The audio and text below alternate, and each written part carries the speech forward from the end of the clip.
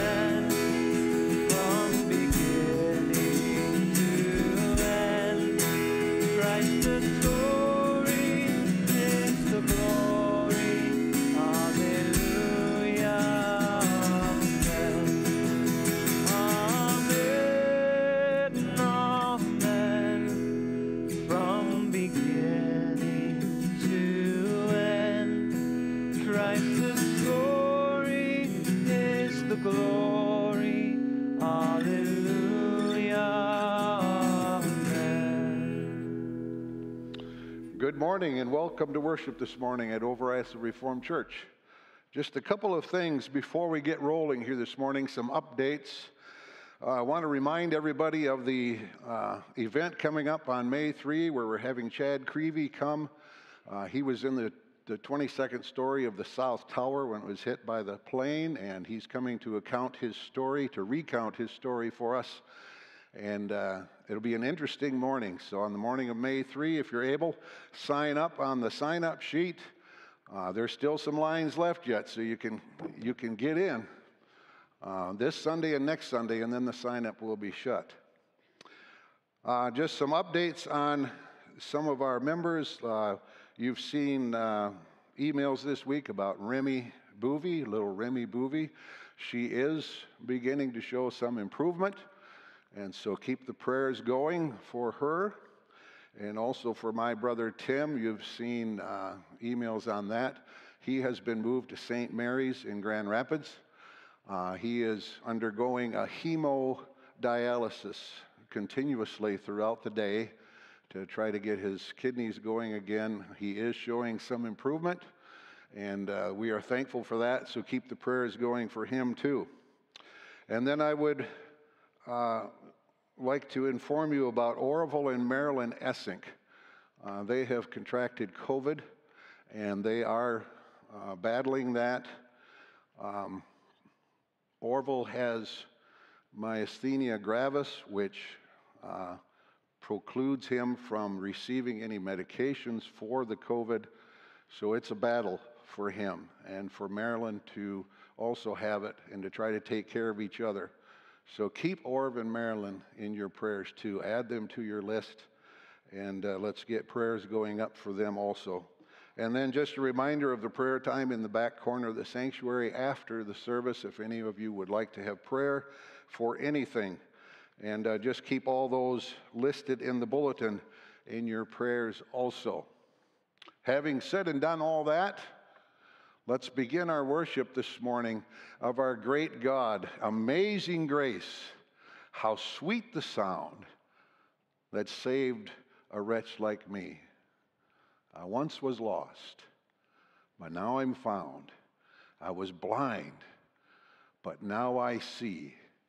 And with that in mind, coming past Easter, knowing what our Lord and Savior has done for us, we can come this morning and sing praises to the King of Kings and to the Lord of Lords and sing holy, holy, holy to Him and that's what we're going to do this morning. Let's begin with prayer, shall we? Heavenly Father, we just come to you this morning, and our hearts are filled with joy and with gladness and with anticipation about what you have for us here in this service this morning. We have been reminded of those already this morning who were in need of our prayers, and there are many more who were not mentioned. But Lord, we come this morning knowing that you are Lord of Lords and King of Kings, and that we come here this morning to give you the praise and the worship that is due your name and only you. So help us to put aside all distractions we may have this morning and help us to focus on praising you and giving you the glory. In Jesus' name we pray. Amen. Would you stand and greet one another, and then we're going to sing to that King of Kings.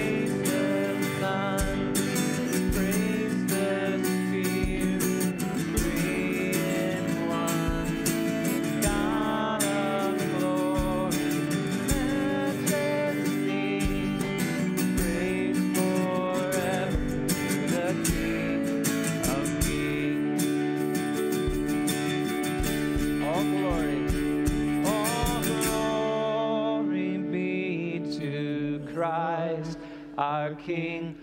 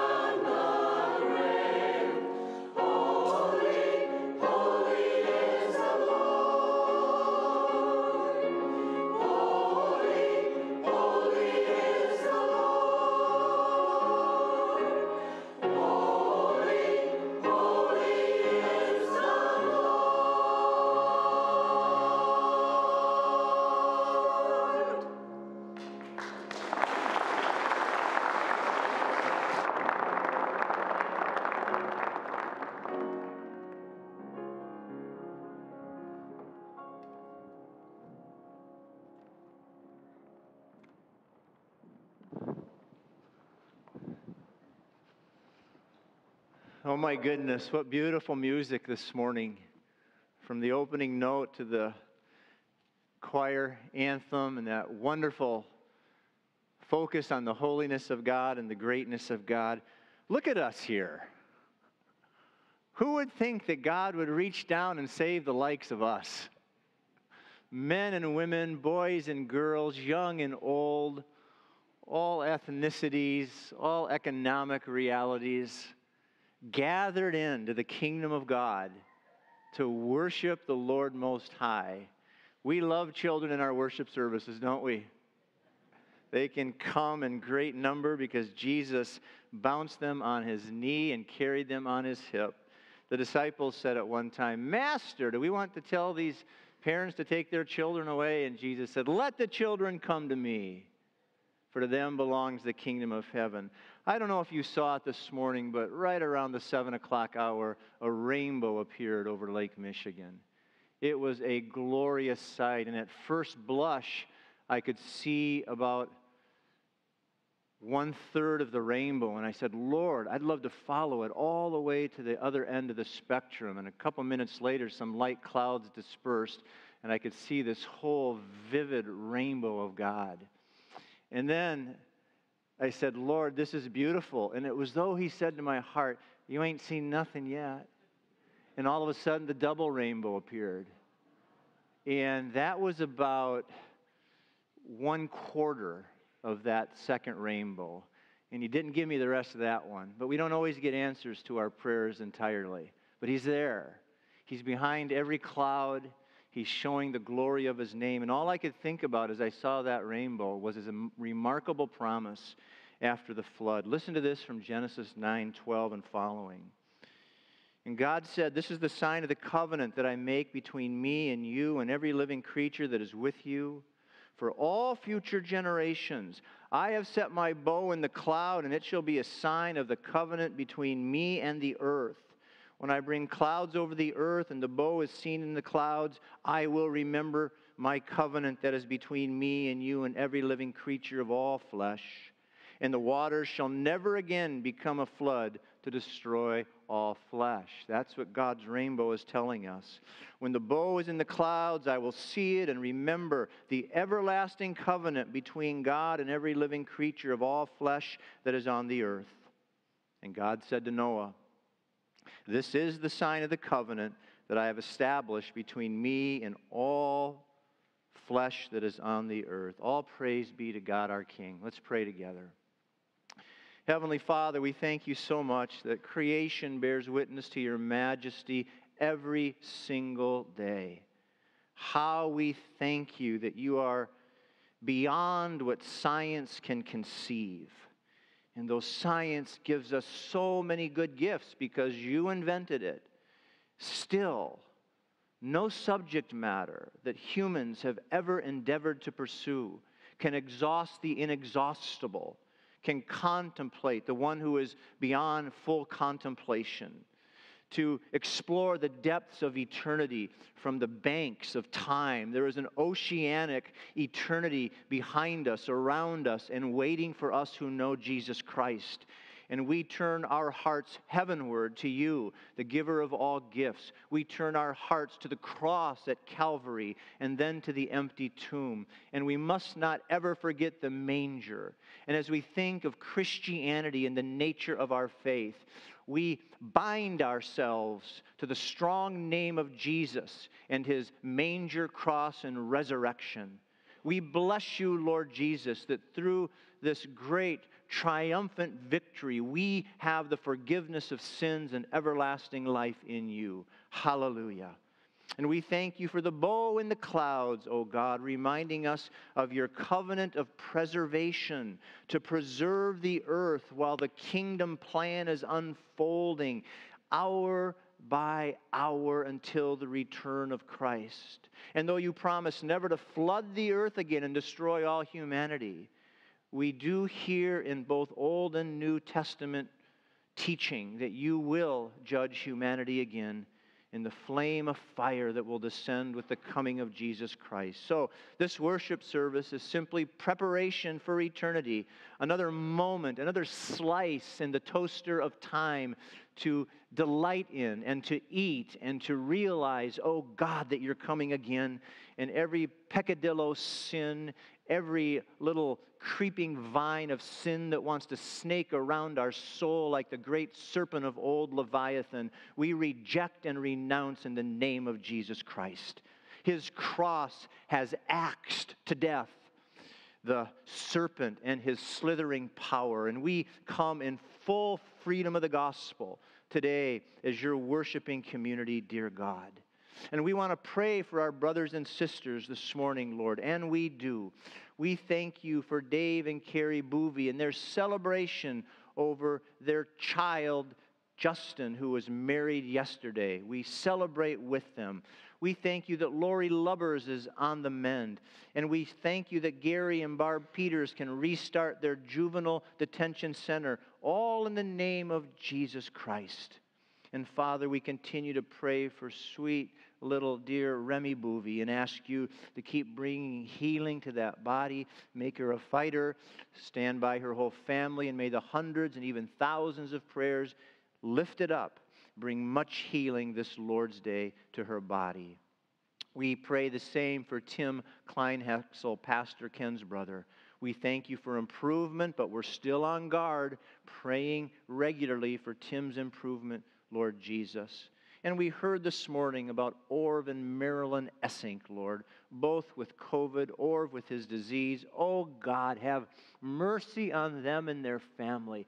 May your presence be palpable, tangible. May what Paul writes in the fourth of Philippians, the peace of God, which passes all understanding, guard like a sentry over a Roman castle their minds and hearts in Christ Jesus.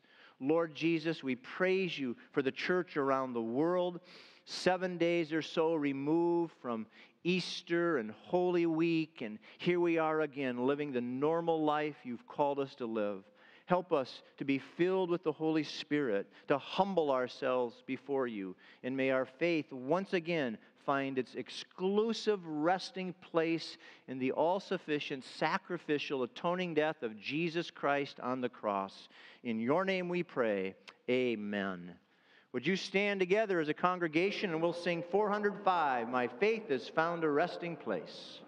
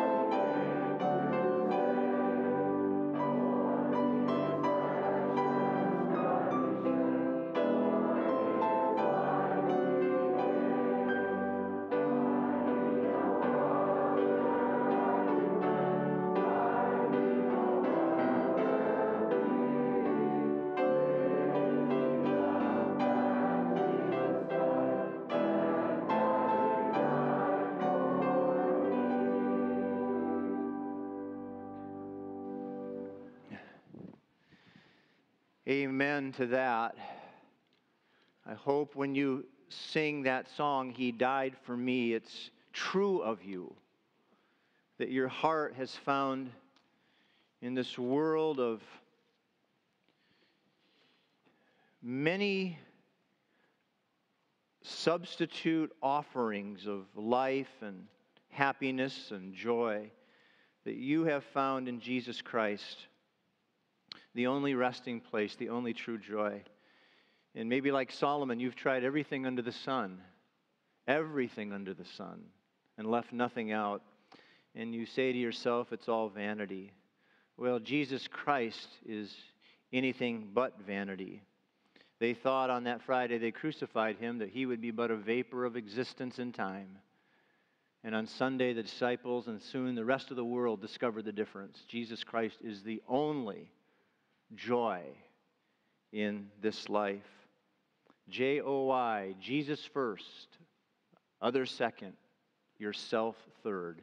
That's where true joy is found in. Let's pray together. Heavenly Father, we come in the name of your Son. We come needy and desperate for you. We have been exposed to so much in the last week that would want to drag us away and entice us away from Christ. And we come to a Christian church like this to hear again the good news of your grace in Jesus, that you died and you rose and were forgiven. Hallelujah. But now we want to be fed. We want to be like little birds, craning upward with beak open, waiting for mama to drop in juicy, plump, nutritious worms and crickets and whatever else birds eat. God, we need you. We need you to feed us. And if we are not needy and we are not desperate, then we are smug and self righteous. Break that spirit, cancel it. You must increase, we must decrease. And the amazing thing about spiritual truth is that as we decrease, joy and peace and hope and everything else increases as you get the glory and we walk in humility and purity of heart before you. So come, Holy Spirit, minister this word to our hearts today. In Jesus' name, amen. Well, I invite you to open your Bible to John chapter 8, verses 21 through 30. Here, Jesus will continue a conversation that has been ongoing with the leaders of Israel and the people of Israel.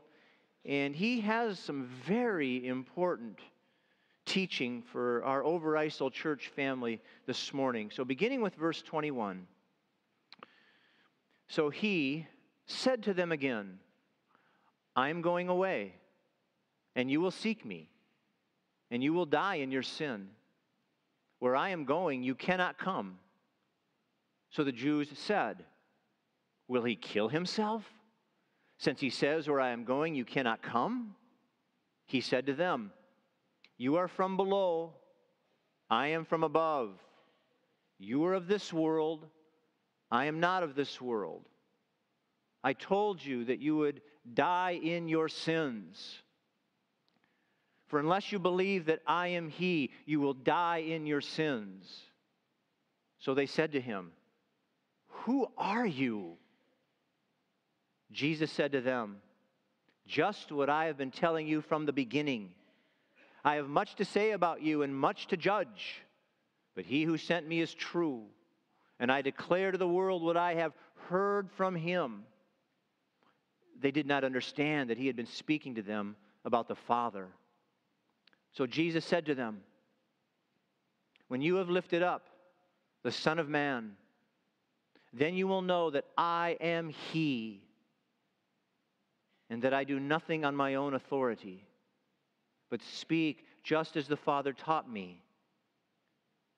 And He who sent me is with me. He has not left me alone, for I always do the things that are pleasing to Him.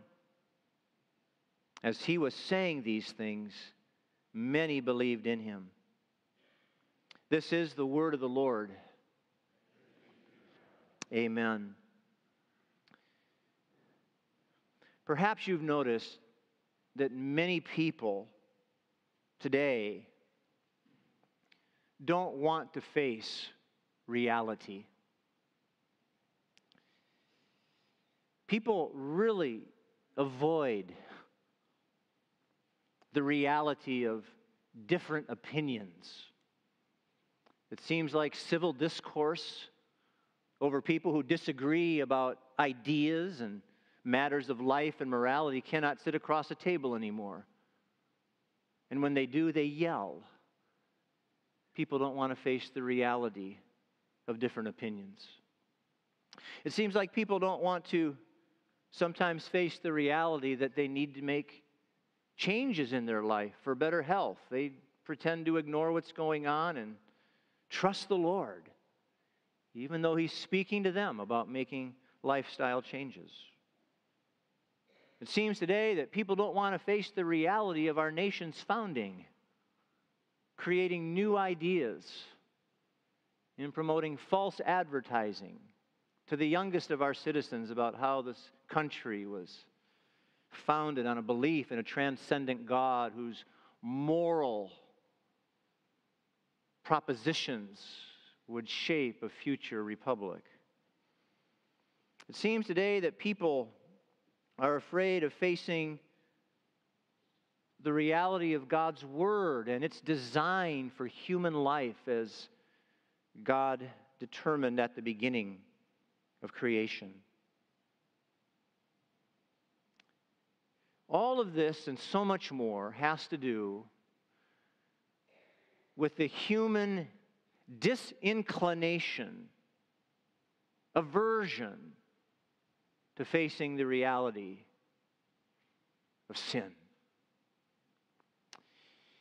This morning we come to John 8, 21 through 30. Simply put, Jesus wants you and me to face the reality of sin. He is furthering his claims. He continues to declare his identity in the face of obstinance, in the face of people who refuse to deal with reality. You'll notice in verse 21 and verse 24 that Jesus says one thing three times. In verse 21, you will die in your sin. In verse 24, I told you that you would die in your sins. For unless you believe that I am He, you will die in your sins. Any question in your mind what his theme is right here?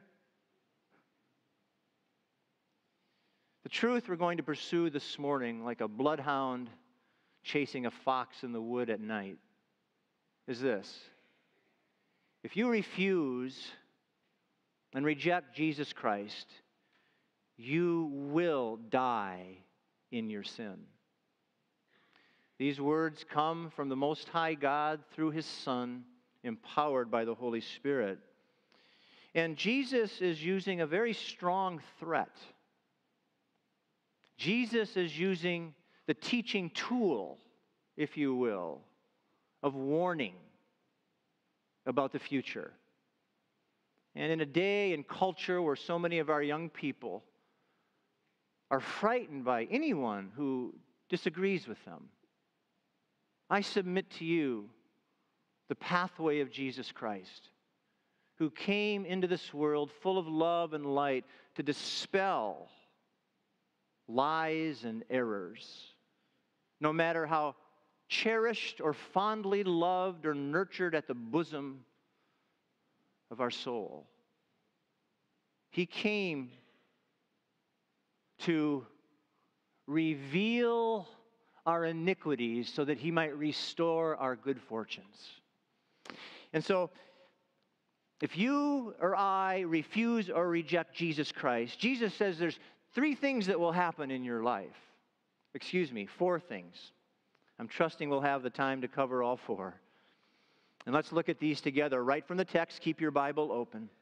Number one, if you refuse and reject Jesus Christ, you will miss the reality of your opportunity for salvation. Verses 21 and 22. You will miss the reality of this moment or tomorrow to receive Christ as your Lord and Savior. Verses 21 and 22 begin with these words So Jesus said to them again, I am going away, and you will seek me, and you will die in your sin. Where I am going, you cannot come.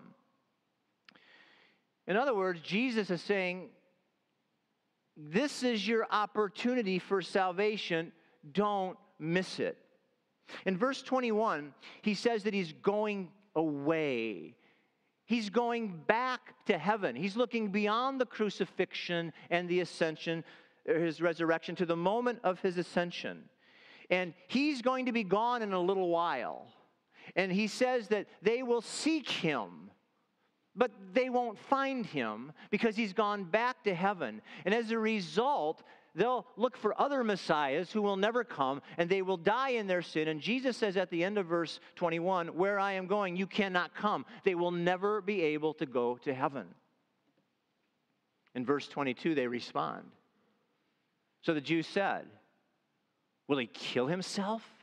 Since he says, Where I am going, you cannot come. Notice they, they heard his words, but they were clueless spiritually about the truth of Jesus' words. They lost touch with reality by wondering if he's thinking of self harm or suicide. No, not in the least. Jesus speaks about the tragedy of missed opportunity for salvation. And I want to camp here for a moment with you this morning. If you refuse or reject Jesus Christ, you too will miss the reality of salvation. After Christ died on the cross, he rose from the grave. Amen?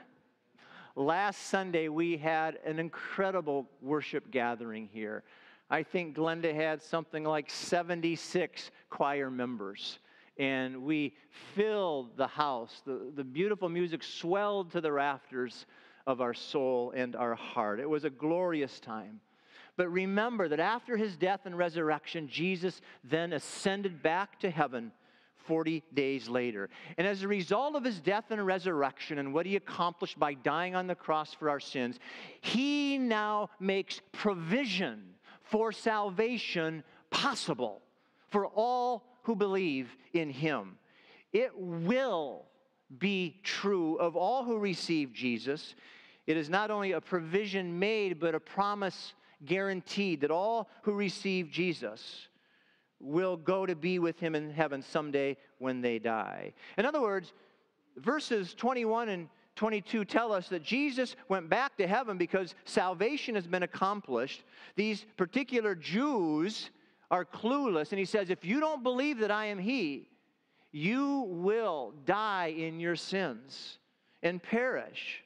And Jesus doesn't want anybody to miss the reality of salvation. Certainly not you this morning who have yet to believe in Jesus Christ. You are the one he is in particular speaking these words to this morning, that you might come to a saving faith in Jesus Christ. The truth is, friends, no one has to die in their sins because there is a Savior, and his name is Jesus Christ. And to reject Jesus is to reject the only salvation the world will ever be offered by God. It is salvation from sin and death. It is then to die in unbelief in your sin, with your sin, bringing you down and down and down, farther and farther, unless you have Christ as your Savior. The tragedy of missed opportunity is what Jesus, in his heart, is speaking about in these opening two verses. Is this you? Have you missed your opportunity to profess your faith in Jesus Christ? The Bible is clear. Many people will miss their opportunity. Don't be one of them. John Owen, a great Puritan theologian and preacher, once said this quote, No man shall ever behold the glory of Christ by sight in the hereafter who does not in some measure behold it here by faith. And that is the key to salvation faith in the Lord Jesus Christ in what he did for you. Number two, not only will those who refuse or reject Christ die in their sins and miss the reality of salvation. Number two, in verses 23 through 24, we learn that you will miss the reality of the two kingdoms. Now, follow along as Jesus continues his conversation and teaching with these leaders. In verse 23, he goes on, after they wondered about his sanity, or if he was going mad, or if he was going to take his life.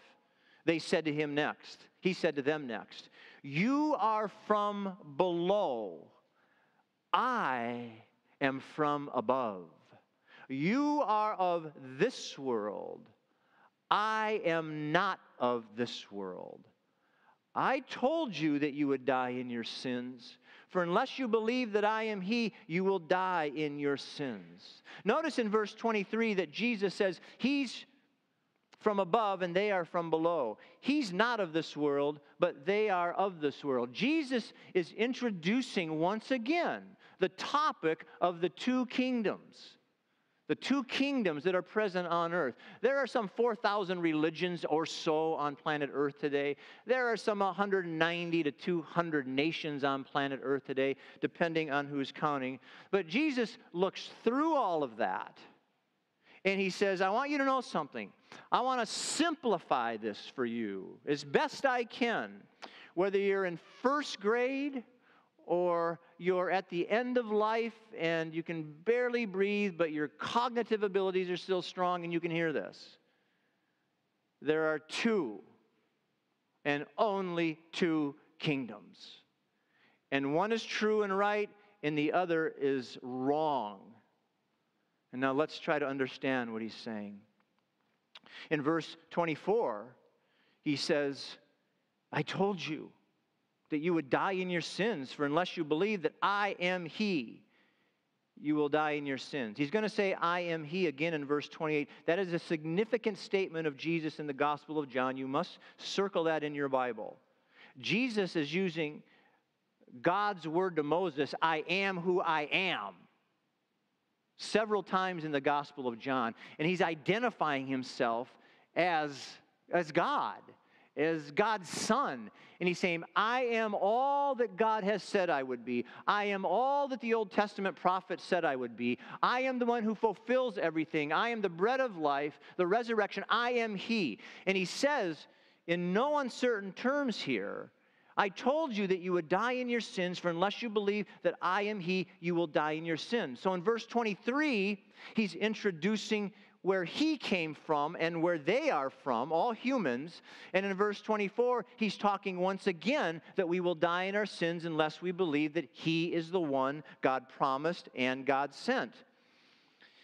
Practically speaking, now, let me say this if you refuse and reject Jesus Christ, you will miss not only the reality of your opportunity, but you will, remit, you will miss the reality of the two kingdoms. This is what he's talking about in these verses. And you say, Pastor Mike, what are the two kingdoms? How does Jesus just slice it down to its simplest form? Woven throughout the Bible from cover to cover is teaching about the kingdom of God and the kingdom of the devil. The kingdom of God needs to be entered, the kingdom of the devil needs to be something we escape from and delivered from. The kingdom of God refers to God's ongoing presence and reign to bring about his son eventually to earth, and then the gospel of Jesus Christ in this Advent period until Christ comes a second time. He's rescuing people from the kingdom of hell, from the kingdom of Satan, from sin and death throughout this gospel age. And you must be delivered from this today. If you don't know Christ, you are not only an American citizen or not an atheist or not an agnostic or not part of some combination of multiple religions or philosophical viewpoints. You are either, in the kingdom of God or outside the kingdom of God. And if you're outside the kingdom of God, you're not neutral. You're in what the Bible calls the clutches of Satan or the kingdom of darkness. It's very interesting to think that most people sense good and evil. You go to cultures around the world, across history, where the Bible has never been read or heard. They have a sense a code of conduct because the law of God has been written in their minds from birth and as God establishes that in every human heart and mind. We know that murder is wrong. We do.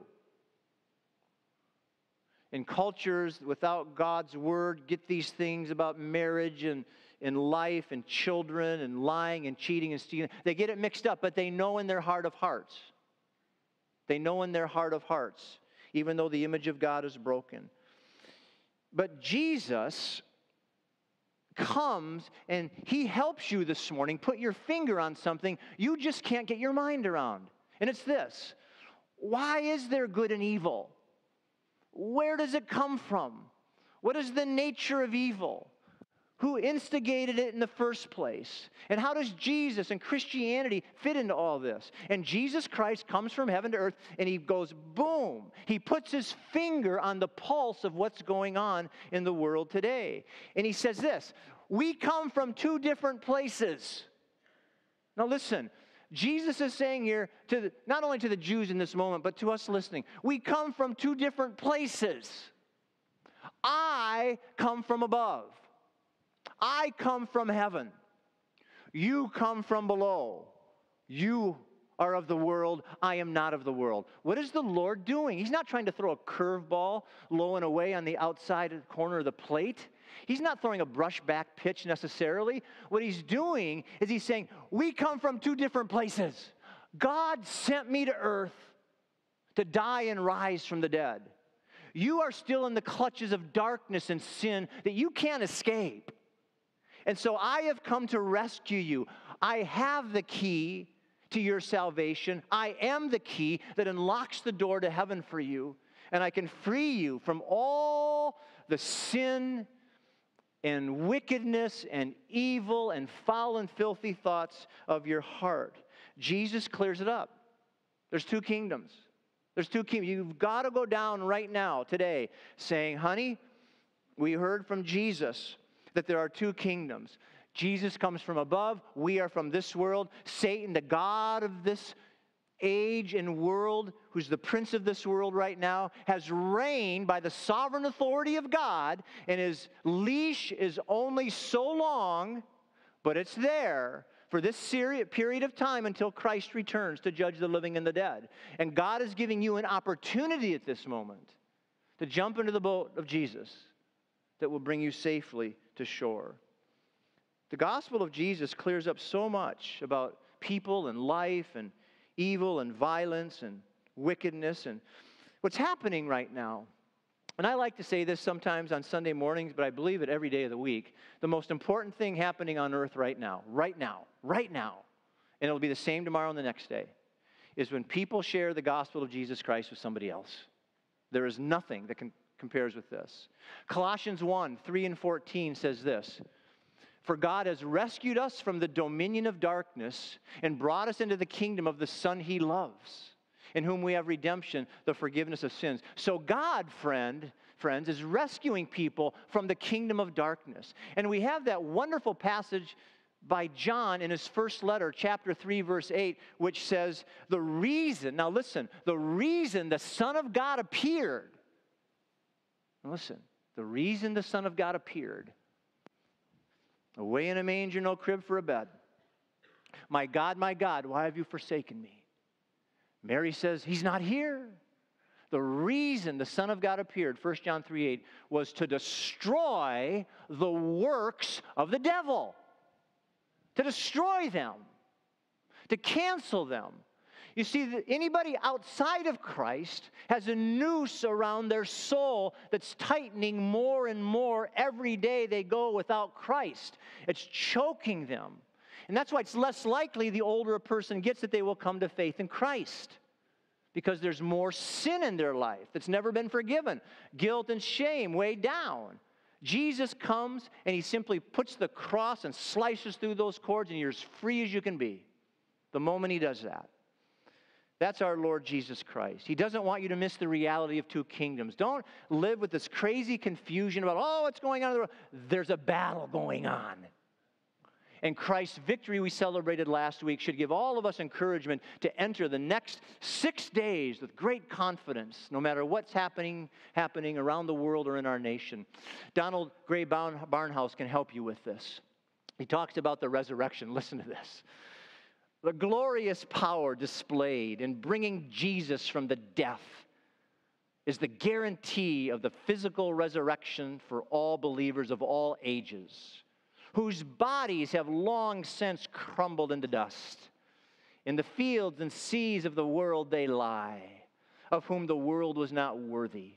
There is the glorious company of apostles, the goodly fellowship of prophets, the noble army of martyrs, the holy church. See them rise from the dead because he was raised from the dead by the glorious power of the Father. See the victims of the Inquisition and the martyrs of Scotland's hills. See them rise like flowers thrusting up from the earth in springtime. Out of every cemetery in the world they come. No one will be left behind. This dust of the human body will come forth from the grave in the triumph of resurrection life. This dust, this matter, the chariot of corruption and the vehicle of decay will become a torch to blaze forever without being consumed, the chalice to the wine of eternal life. Hallelujah. This is the resurrection of the body, friends. This is your future, bursting up from death. Like we sang last week, up from the grave he arose with a mighty triumph over his foes. He arose a victor over the dark domain and he lives forever with his saints to reign. He arose, he arose. Hallelujah, Christ arose. If you refuse Jesus, you will miss the reality of opportunity for salvation, and you will miss the reality of the two kingdoms and go through your life in a haze, in a fog, unsure and uncertain of which way to turn in this world and die in your sins. Do you want that? Oh, no, you don't. No, you don't. A thousand times no. To die in your sin is the worst reality that anybody could ever face. Let's go on to number three now. If you refuse or reject Jesus Christ, thirdly, you will miss the reality of the Father's message. Now, this is crucial, verses 25 through 27. Jesus is trying to let them know something about what he's teaching. So they said to him, Who are you? Who are you? Do you sense their, their perplexity? And now, even at this moment, maybe even a beginning trace of some kind of recognition of something other than they are, different. He's a man, but these words, we've never heard anyone speak like him. So they go, Who are you? And Jesus said to them, Just what I have been telling you from the beginning. In other words, exactly everything you are hearing and everything I am saying over and over again into your thick skulls is true. I haven't changed any of it. And then he says in verse 26 I have much to say about you and much to judge, but he who sent me is true and I declare to the world what I have heard from him. So God sent him, the true God, the real God, verse 26. And I declare to the world what I heard from him. Do you hear what Jesus is saying here? He does not speak on his own authority.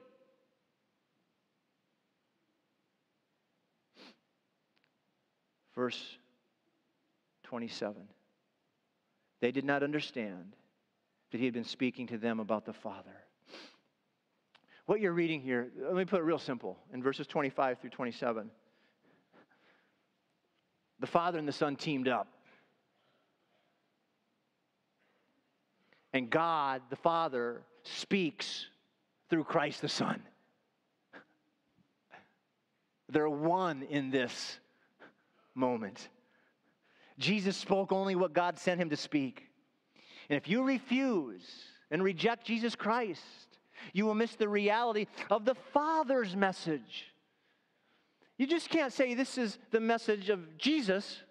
It is the message of Jesus, but Jesus had a, an assignment. He was on this grand, glorious errand. He would come to earth, grow up to maturity, and his ministry began with the anointing of the Holy Spirit out of the baptism, baptismal waters. And now Jesus Christ taking his cue from the Father, spoke exactly and only what the Father wanted him to speak. So you say this morning, Where is God? Ah, there's so much bombing and bullets and lies. And where is God in this world? What does God have to say about anything? You want to know the answer to that? Check in with Jesus. Whatever Jesus says, God said beforehand. And whatever God wanted Jesus to say on this earth, Jesus said it. So you're reading the Word of God through the words of Jesus Christ. Now, this is fascinating because in the book of Exodus, chapter 20, verses 18 through 21, we learn that human beings cannot hear the voice of God. Listen to this Ten Commandments have just been given. Moses is their leader. And we read, Now when all the people saw the thunder and flashes of lightning and the sound of the trumpet and the mountains smoking, the people were afraid and trembled, and they stood far off and said to Moses, You speak to us, and we will listen, but do not let God speak to us, lest we die. Moses said to the people, Do not fear, for God has come to test you, that the fear of him may be before you, that you may not sin. The people stood far off while Moses drew near to the thick darkness where God was. Hebrews 12. It's my next one. And then I'll make the application.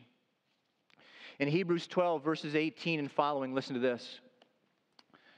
For you have not come to what may be touched a blazing fire and darkness, and gloom and tempest, and the sound of a trumpet and a voice whose words made the hearers beg that no further messages be spoken to them. That's Sinai. Moses is Mount Sinai. Moses is law. Moses is thunder. Moses is wrath. Moses is lightning. Moses is the Ten Commandments. For they could not endure the order that, order that was given. Even if a beast touches the mountain, it shall be stoned. Indeed, says the author, so terrifying was the sight that Moses said, I tremble with fear. That's Moses. Don't, don't let God speak to us. He's holy, we're not We'll crumble in his midst. And so God promised a second Moses, Moses the two, Moses the second one, the new Moses, the greater Moses. That's why Jesus had a sermon on the mount, on the mount. He was the greater Moses.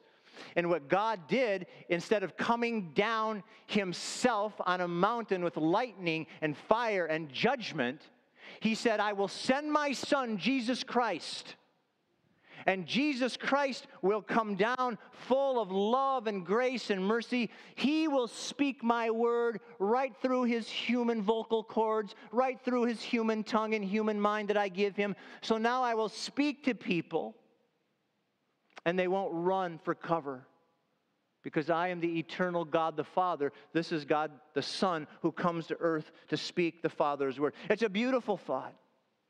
Jesus is the new Moses. He's the greater Moses who comes not with lightning and thunder. Remember, son, God did not send the Son into the world to condemn the world, but that the world might be saved through him. That is reserved for his second coming, the thunder. It's coming. But this is a day of salvation. 2 Corinthians 6 2. Do you know this? If you're not a believer, you won't know this. Let me share it with you. Behold, now is the day of salvation. Now is the acceptable time to come to faith in Jesus Christ. If you refuse Jesus, you miss the Father's message. I want to know what God thinks of everything. Jesus tells you. I want to know who really created the world. Jesus tells you. I want to know the future. Jesus tells you. That is God telling you through Jesus Christ. Up and down Moses went several times. And every time he came down, he told them a fresh word from God. Jesus came down for three years and gave us the fresh word and loaf of God right out of the oven of heaven, piping hot, ready for all of us to devour and eat. Man does not live by bread alone, but by every word that comes from the mouth of God. And, and Jesus speaks heavenly truth. Jesus speaks about the reality of the past, the present, and the future. When Jesus speaks about creation, he's speaking God's truth. When Jesus says, In the beginning, he made them male and female, Jesus is speaking God's truth in Mark 9. When Jesus tells us about the coming judgment in the future, he is speaking truth from Mark 13, Matthew 24. This is our Savior telling us nothing but truth. He's not holding back truth, because humans need to face reality. And truth is reality, lies are not. I remember living in West Michigan years ago when our kids were little. And every now and then, after a fall and snow, I would go out and walk with my boys or my daughter or one of the kids, and I'd make footprints in the snow. And they would try ever so diligently to follow in Daddy's footsteps. They would try to put their little feet where I had stepped because they wanted to be like their daddy. Jesus came to earth wanting to be like his daddy. Every footprint the Father gave him, he fit into perfectly. And every word, if you will, of Jesus Christ is God's. And Jesus honoring the Father by fulfilling every footstep plan God had for him on this earth. Hallelujah. Fourth and finally, we've learned that if we reject and refuse Jesus, we will miss the reality of our opportunity for salvation, the reality of the two kingdoms, the reality of the Father's message. Do you still want to live your life denying reality or avoiding reality? Well, listen to this last truth in verses 28 through 30. If you reject Jesus Christ, you will miss the reality of Christ's cross. And only the cross can save a person. Notice verses 28 and 30 now. So Jesus said to them, here it is, when you have, when you have lifted up the Son of Man, that's the cross, then you will know that I am He. There's our phrase again and that I do nothing on my own authority, but speak, here it is again, the Father's message, but speak just as the Father taught me. Now listen to this verse. They hate Jesus so much, they will see to it that he's crucified. They will convince the crowd on the triumphal entry a week ahead of time that shouted Hosanna to say, Crucify him. But notice what he says. When you have lifted up the Son of Man, then you will know that I am He. They'll know something. And that I do nothing on my own authority but speak as the Father taught me. He's not saying the moment I'm hanging on the cross, you'll recognize everything. That's not, that's not Jesus, what he's saying. Listen. Jesus is saying, when you hang me on that cross, and they don't even know about the cross yet, but it's going to happen. When you hang me on that cross, it's about five months away in the Gospel of John. When you hang me on that cross, I'm going to die. Three days later, I'm going to rise from the dead in victory. 40 days later, I'm going to go to heaven. And so many years later, I'm going to come back and judge the living and the dead. And he's saying to these leaders here and now, somewhat cryptically, but fully in line with his truthfulness and his purpose, that when you hang me on that cross because you hate me so much, one day one day you will see who I really am, and it will be too late. Oh, you will see I am He, but it'll be too late, and you will die in your sins. What a statement. And then he says in verse 29 And he who sent me is with me, that's the Father. He has not left me alone, the Father's with him, for I always do the things that are pleasing to him. And as he was saying these things, many believed in him. This is a, a preparatory kind of belief, I think. It's not that they believed in the full orbed reality of Christ, but they're starting to trend in that direction. It's probably a preparation for deep seated, true belief in him.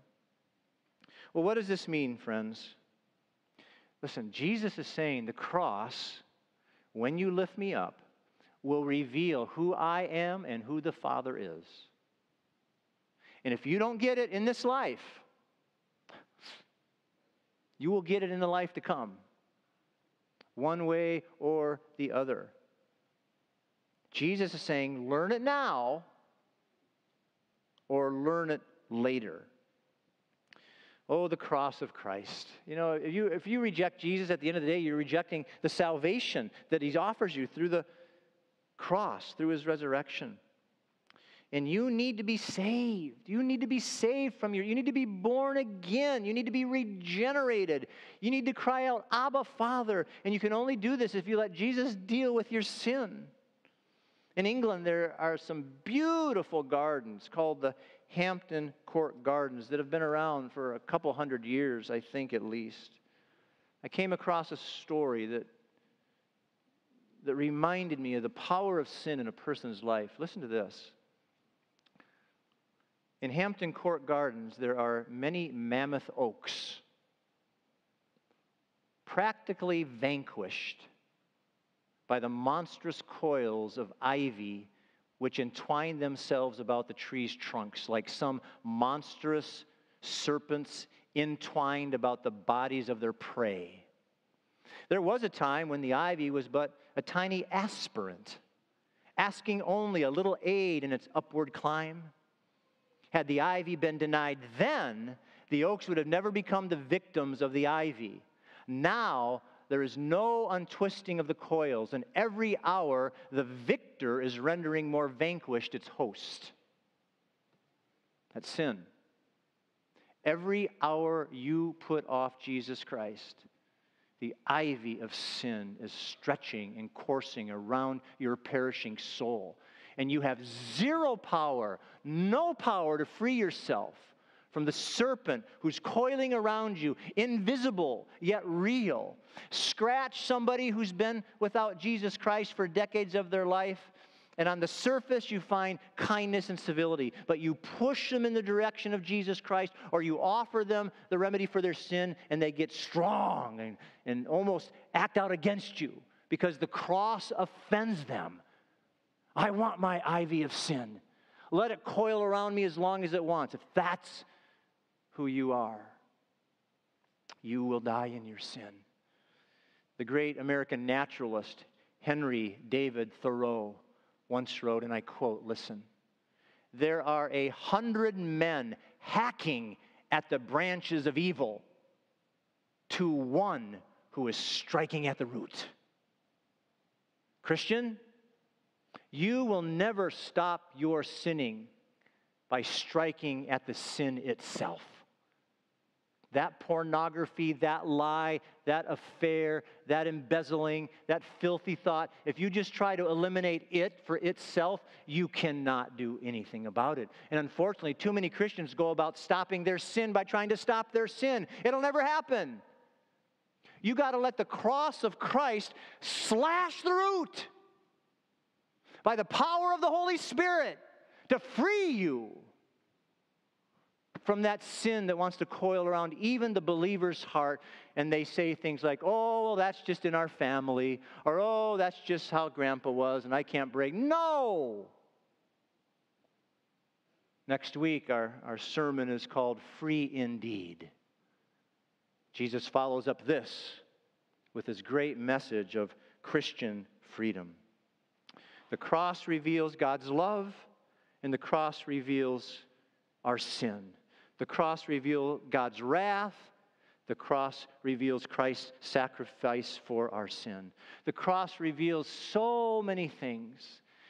And I implore you and ask you today as we close live every day with the cross upon your shoulders. To remind yourself that if I keep hacking away at my sin, I'll never get free of it.